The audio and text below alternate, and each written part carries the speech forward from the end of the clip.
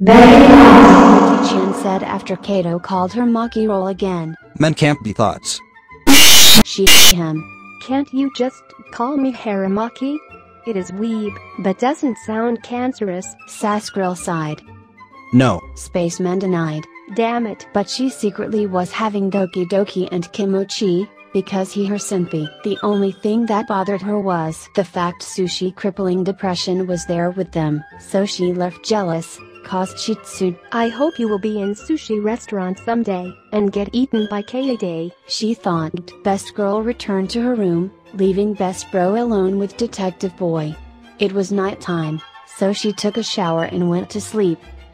She arrived at Destiny Land, because her Dieto was about to start. Momota-kun where you at? She waited for her fam, when he arrived but in some costume to be exact, in spring roll costume. Kill yourself please. Mickey thought. Fame. Squam why aren't you in the costume? He screamed so everybody at the Destinland could hear him.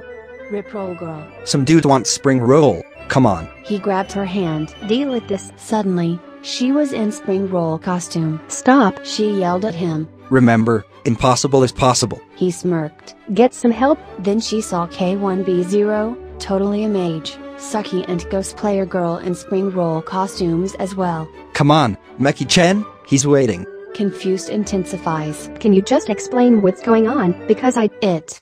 It was too late. The client was already next to them, about to eat them. Kokichi.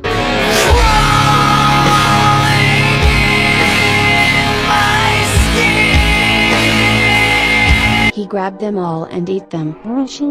He winked to the hidden camera. Harumaki gasped after waking up from dream. Damn it Mamoto-kun, why? For the rest of the morning, Maki was triggered.